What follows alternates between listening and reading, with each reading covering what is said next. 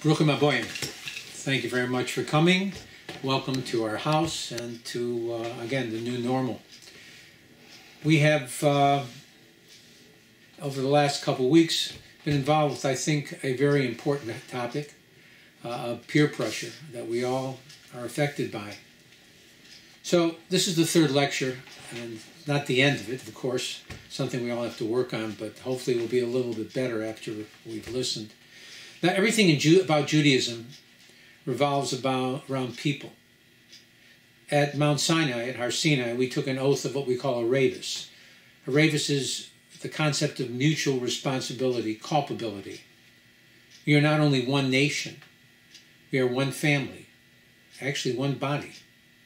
You know, when Bernie Madoff was found to be the biggest thief in history, as Jews, we all felt a little embarrassed. Hmm, but why? We didn't take a dime. Yeah, but. And what happens if some Jewish scientist in Denmark receives a Nobel Peace Prize for some scientific breakthrough that you've never even heard about? And even if you didn't hear, you really, if you really did hear, you still really wouldn't understand what it was about. But still, you would be proud that a Jew, a part of your family, part of you, was being honored for a breakthrough in science that would benefit all of mankind. Now, this concept of positive peer pressure can be best viewed in the religious study halls. The preferred method of Torah study is what with, with a we call a chavrusa. A chaver means a friend, a study partner. It is not that one cannot study by themselves, but when you study with a partner, together you both grow and through that, the give and take, again, the interaction between you. Just the fact that you articulate your thoughts makes a world of difference. You know, all conversations are really made up of four individuals you and yourself, and the other person and their self. Hearing yourself articulate a thought will many times tell you if you really understand the topic or not. We have a belief that even when we pass on to the next world, this concept of chavrusa, of study partner, also exists. It's a story told about a great rabbi who wanted to know who his study partner would be in the world to come. And so he fasted the chalom uh, of tzom, the, the, the fast for at night, to have a revelation from heaven. And the question he asked is who his partner would be in the world to come. And he re- received an answer. They told him that Moshe the butcher would be his study partner. The rabbi woke up with this information and he felt that, I guess, the help in heaven is kind of like here on earth. They must have got something screwed up. How could the butcher be a study partner? So he did another fast, received another communication, but this one was a little different. First, it told him, yes, that Moshe would be his study partner, but it warned him not to mess with it, that he might lose his own by, by questioning this. And so he accepted it, and he felt that if Moshe, the butcher, was going to be a study partner in the world to come, let's go find out who Moshe is. And so he went to Moshe's butcher store, and he stayed outside, and through the window he watched Moshe. He figured that if Moshe was a study partner, he probably wasn't a simple butcher. He's probably one of maybe the 36 hidden tzaddikim, righteous individuals, that are the foundation, the pillar of the world. so he watched Moshe. What he saw, he was a butcher, a businessman. He waited on customers, he cut meat, he weighed out meat. He was a businessman. He saw nothing exceptional or unusual. Customers left and the store was empty. And then the rabbi walked in, and introduced himself to Moshe. Moshe was very impressed meeting the rabbi. And he said to Moshe, Moshe, what's special about you? Moshe looked at the rabbi and said, Nothing special about Rabbi. I'm, I'm a butcher. I'm a Jew. I do what every Jew does. I daven three times a day. I give charity. I eat kosher. Nothing special. The rabbi looked at him and said, No, no, Moshe. There, there, there's something special about you. Think. Maybe there was something in your past that was exceptional that you've done. So Moshe thinks, and he says, You know, Rabbi, maybe one thing. He said, Many years ago, as I was working in my butcher store, I looked out the front window, and there I saw a caravan that had stopped. And as they were preparing to move again, I noticed that in the back of the caravan there was a young lady who looked Jewish. So I walked out, I had some time, and I began talking to her, and I found that her town had been overrun by marauders, and she was taken as a captive, and now she was being taken to the slave market to be sold. And you can imagine how distraught she was, losing her family, and then looking forward to a life of slavery. So I went to the head of the caravan and I spoke to him, and he realized what was going on. He knew I was a Jew. So he made me pay, as they say, gesund, pretty heavy for this girl's freedom. But I did. And once I did that, I brought her into my family, and we brought her up in my house. When she became marriageable age, I told my son Chaim, you know, I'm going to give you some good advice. And I said to him that where is he going to find a girl that's better than this girl? She was a fine individual. And then my suggestion was that he marry her and that I would take care of her dowry as if I was her father, with all that was needed. Son Chaim, being a good boy, agreed, and we set the date for the chatana, for the wedding, and everyone was invited. Everybody that lived in the city, everybody was visiting, poor people, it made no difference, everyone. And the tables were set with food and with mashke, with booze. And I looked out before the ceremony at all the tables, everybody was laughing and having a good time. But then I noticed in the back, there was a table, and it seemed like people were crying, crying. Couldn't figure out what that was about, so I went back there. And I said, uh, of the food, of the booze. And they said, no, no, this young man, listen to his story. How can you not cry? So I put my arm around the young man's shoulder and I walked him outside. And I thought, you know, that maybe uh, he needed some money. And whatever it was, I was going to help him out. So he told me a story of woe. And he said that he had been in a village and the village was overrun by marauders. And he'd been taken as a slave. And that uh, he'd been sold into slavery and that his Beshert, the woman who he was supposed to marry, who had been destined from birth, that the two families had written up a contract, that he and this girl would marry when they got older. So he had spent the last few years looking for her, and now he finally found her. Where is she? She's the bride to be married today. His Beshert is going to be marrying someone else. Shouldn't he be upset? So the butcher said, to the rabbi, I asked him, Do you have any proof of this? And he took out a piece of paper and a document, and it showed that was the case. And then I asked him, Do you have any physical signs that she's the girl? And he said that on her hand there was a birthmark the sign, that had the shape of a star. And of course, he said, I knew that because I had been around you for so many years. And I told him to wait. And I went and talked to my son Chaim, and I told him the whole story. And I said to my son Chaim, as I gave you advice before, I'll give you good advice again. My advice is step aside. Let these two orphans get married, and I'll find you someone else for you to get married. My son Chaim, again, being a good boy, realized that this was the correct thing to do, and that day, these two orphans got married in, in place of my own son, and I gave them everything, everything that I would have given to my son as gifts and sent them on their way. And when the great rabbi heard this story, he put his arms around Moshe and hugged him and said, It'll be a pleasure to spend eternity with someone with a heart like yours. You know, positive peer pressure is felt not just from great rabbis, but even from simple people, even from a butcher. It's interesting that the first word of the Ten Commandments is the word Anochi, meaning I, and the last word of the Ten Commandments is Re'echa, your friend. We believe that at the beginning of your journey in life, it's all about you. Look at young children. Mine, mine, mine. All everything they touch, they want it exclusively. But then hopefully through years and connecting to our spiritual values, we are able to reach the level of Re'echa, your friend, where we'll all be able to connect with someone else and connect to their thoughts, not just our own, to be a true giver and not a taker.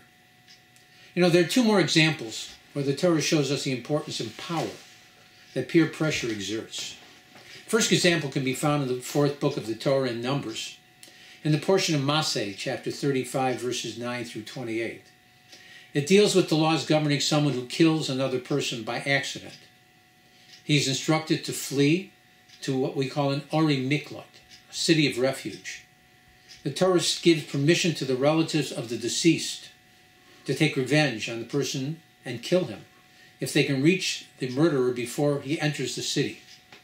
Once he enters the city, though, and is given asylum, then he is taken out to be judged. If he is found guilty of some negligence in the matter, the judges may sentence him to a life of exile in the city of refuge. Now, his sentence would last until the death of the Kohen Gadol to the high priest. If he were to leave the city limits before the death of the high priest, the relatives of the deceased individual could kill him and would not be charged with a crime. So, interesting information, but what does this have to do with peer pressure? And the answer is really quite a bit. There are really two questions that we have to ask. Number one is, why would he be exiled to a city of refuge? And secondly, what connection is there between this accidental murderer and the holiest man in the world, the high priest? So, in order to answer the first question, we, we need to know what were the cities of refuge? So there are six basics. There were six basic cities of refuge. Three designated by Moshe on the east side of the Jordan, and three designated by Yehoshua, Joshua, in Israel proper. These six cities were part of the 48 cities that were given to the priests and the Levites when the children of Israel entered the land for them to reside in. In reality, any one of the 48 cities of the Levites could be used for asylum, but these six had special laws and designation. But why would this person need to be exiled to a city of priests and Levites? Answer peer pressure. We know that nothing is an accident. So the fact that he was exiled to a place where the majority of its residents were either priests or Levites and their families could not have been an accident. Somehow, and in some way, this person was found to have a spiritual deficiency in his soul. His cure would consist of spending time in a holier environment. It would be like going to a spa in a drier desert climate if you suffer from certain physical ailments. There is no way that a living person, person, pardon me, living in such a spiritual charged environment would not be affected in some positive way by peer pressure. Much like the example I've mentioned before about going into a perfume shop and buying nothing, but you still come out smelling better. But what can be the connection between the accidental murderer and the holiest man in the world? We believe that a spiritual leader must take responsibility for the lives of the people of his generation. If they fall off the path somehow, he is held accountable. He has a duty to set them back on the proper path. So the fact that this person was able to become involved in the act of murdering another human being somehow has its connection with some deficiency in the high priest. Their souls are intertwined in life and also in death in ways that are far beyond our understanding. So when the high priest dies, that signifies that the soul of the accidental murderer has been rehabilitated and is now ready and free to enter the secular world once again. This transformation can only happen through positive peer pressure. In the fifth book of the Torah, the book of Deuteronomy and Devarim, in the portion of Re'eh, chapter 13, verses 13 through 19, it teaches us about what's called an Ir Hanidachat, a rebellious city, one that the majority of its inhabitants have turned to idol worship. That means if 51% of the populace fall under this category, then perpetrators are put to death and all the material possessions of all of its inhabitants are burnt in the middle of the city. This even includes the possessions of those who did not serve an idol and therefore were not put to death. But why? And why this designation, rebellious city? Why would it have to be decided by percentages? Why not just judge each individual on his or her own merits? The person is not serving an idol. Pardon, the person who is not serving an idol, but yet he still lives among these sinners, is doing so for a reason. The reason, according to the Torah, seems to be money. What brought him to this place? Money. And why did he stay in this place? Money. Much like Lot. Avram's nephew with Sodom. Why else would he live in such a lowly place? It would not. It would not. It would. It would, it would only be logical to assume that he'd be doing business with idol worshippers, and he would therefore be forced, negative peer pressure, to adjust his spiritual standards to enamor himself to them. He would have to have, a, so to speak, a blind eye and look away from their open disrespect and disregard of God and His Torah. As it states in the U.S. currency, in God we trust, which alludes to the God of the dollar. But why does the Rambam state that if 51% of the population are serving idols, then not only are the idol worshippers put to death, but all the material possessions of all the inhabitants of the city, even those that didn't serve the idol, are all destroyed. So if 49% of the populace are serving idols, they are judged as individuals. Why should two more percent, 51%, make such a difference? Since 51% of the residents have become idol worshippers, it shows that negative peer pressure has taken over. And it's just a matter of time before that virus will infect all the residents. So, destroy the virus before it infects more people. There is one more form of peer pressure that would seem to be proper, even suggested. Yet the Torah shows us that it is not acceptable to God. In the secular world, there's a statement that says imitation is the greatest form of flattery. This is not the case with religion. We read in the book of Genesis in the portion of Chayei Sarah that after he, her death, Avram Avinu sends Eliezer, his trusted servant, who was the head of his household, to his native home to bring back a wife from his family for his son Yitzchak. Now, Eliezer had a righteous daughter, and he wanted her to marry Yitzchak. However, Avram found a flaw in him. What flaw could Avram have found in Eliezer? And the Medrash says that he was a carbon copy of his master in every way. To the point that when he first met with Rivka's family, they initially thought that he was actually Avram. But still, what was the fault? Hmm. the fault was that he had become Avram and had lost his own individuality. Think of a jigsaw puzzle. What if you have two pieces that are identical? What do you do? You throw the extra piece away. It's useless. Eliezer did not allow himself to grow, to develop his own relationship with his Creator. We see this point illustrated again in the first blessing of the Amidah, the standing prayer that we say three times a day. It says, Elokei Avraham, Elokei Yitzhak, Elokei Yaakov, the God of Abraham, the God of Isaac, the God of Jacob. So the question becomes, why repeat the word Elokei, God, of, before each of the names? Why not just say, Elokei Avraham, Elokei Yitzhak, Elokei Yaakov, the God of Abraham, Isaac, and Jacob? And guess what? We'll be saying the exact same thing. The wording is very important. It teaches us that each of the forefathers served God in his own unique fashion. They were not carbon copies of each other, they were individuals. Abraham served God out of kindness. Isaac served God out of the attribute of severity. Jacob served God through the attribute of beauty, a mixture of kindness and severity.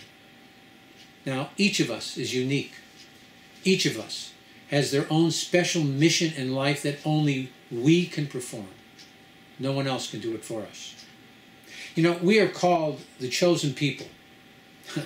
Many people, Jew and Gentile alike, have had issues with this statement. Chosen. What does it really mean? I think that the answer is that we were chosen to be a light unto the nations. Our light mission in life is to be an example of charity, morality, and godliness to the world at large. Positive peer pressure. However, many times it is we who are influenced by their negative peer pressure. To abandon those values that God has chosen for us to exemplify, we need to do a better job. You know, I'd like to end the topic with the message about what is perhaps the greatest challenge that peer pressure presents. The Talmud tells us that we, are, that we as Jews are required, commanded to give up our lives for three cardinal sins idol worship, murder, and sexual infidelity.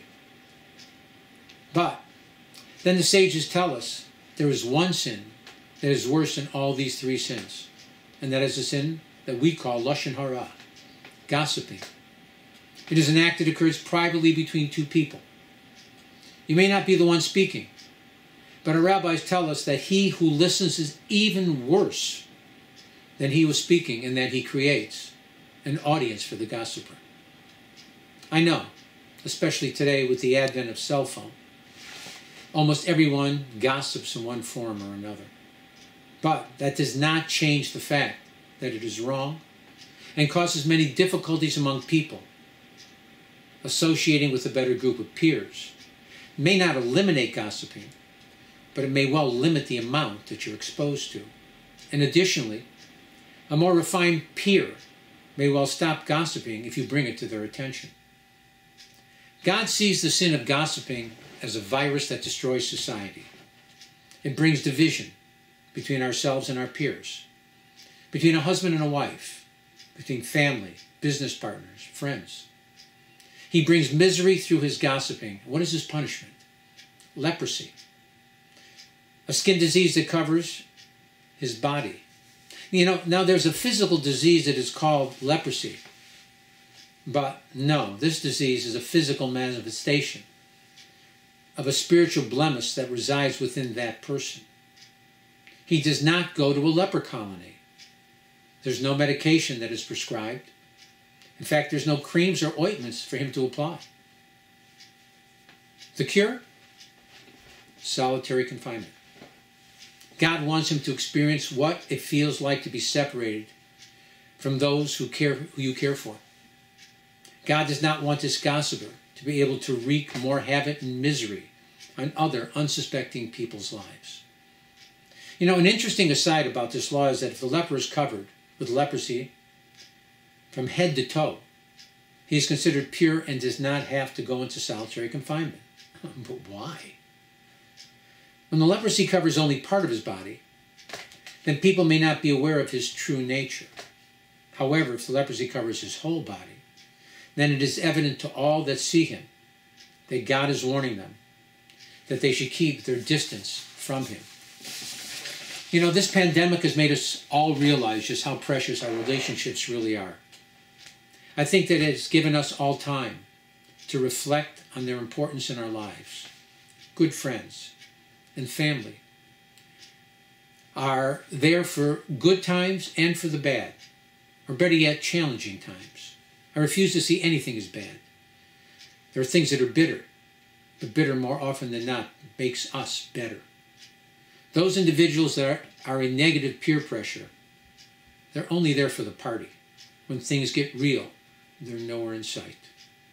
May God bless us all and our children, that we surround ourselves with people that will influence, influence us in a positive and godly fashion. The proper peer pressure, so that we can help to herald in the coming of Mashiach Tzidkeinu quickly and in our time. Want to thank you very much for listening. By the way, what I'd like to also mention that if anyone has any suggestions on topics uh, that we could discuss in this lecture on my thoughts, uh, if you could uh, text me again at the uh, Beis Mordechai, um, to, the Toda, which is here again, and also TOADA 36 at yahoo.com, and also at, the other way around. Huh. Ah, there you go. That the way? Oh, backwards. Okay.